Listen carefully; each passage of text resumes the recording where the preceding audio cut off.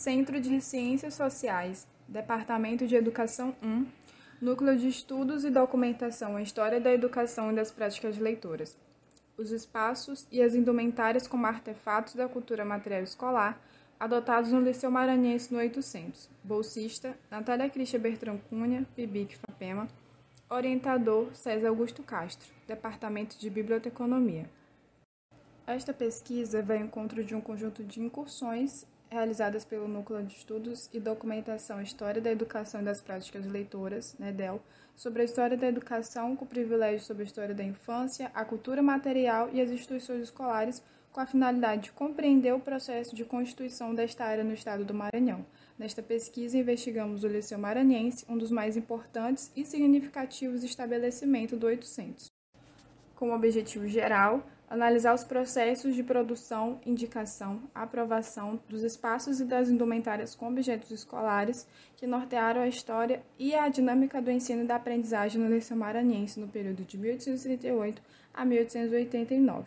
Objetivos específicos: identificar nas fontes os objetos escolares que subsidiam o processo de ensino e aprendizagem do liceu categorizar os objetos identificados segundo sua natureza e função, instrumentos de escrita, instrumentos de leitura e mobiliário, e analisar o papel dos objetos da cultura material escolar no funcionamento e representatividade do Liceu Maranhense como instituição de ensino.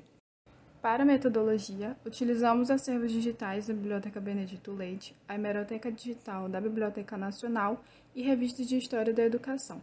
Para a pesquisa documental, utilizamos a imprensa periódica, relatórios presidentes de província, relatórios dos inspetores da instrução pública, da congregação e dos dirigentes do estabelecimento, correspondências e dispositivos legais, que são o conjunto de leis, regulamentos, regimentos e estatutos.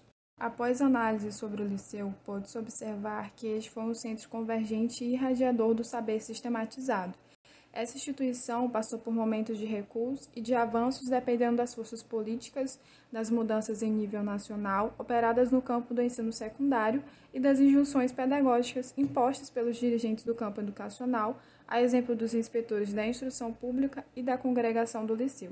Essas alterações faziam representar principalmente no currículo escolar, nos regulamentos e estatutos. Ao abordar o objeto de estudo, o Liceu Maranhense foi um grande contribuinte para a história da educação onde a instituição também foi responsável pela formação do pensamento intelectual e cultural, salientando-se que o mesmo foi responsável por formar uma gama de homens que contribuíram para os diferentes aspectos da literatura, da política e do jornalismo, marcando de forma peculiar o Maranhão no 800.